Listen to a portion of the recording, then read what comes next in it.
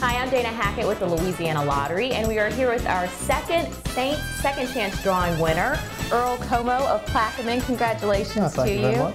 Tell us, how does it feel to win? Feels very good, very good. We're, we're really excited. We're big Saints fans, and uh, we like to support our team. You guys go to the games pretty regularly, you were saying. Season ticket holders, and we take road trips also.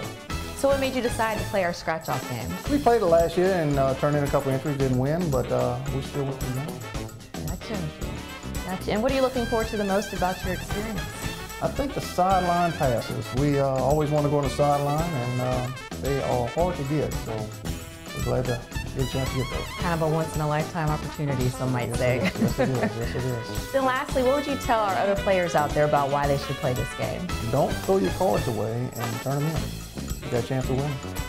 Great. Well, congratulations again. Thank you. And you guys, good luck playing out there. Who that?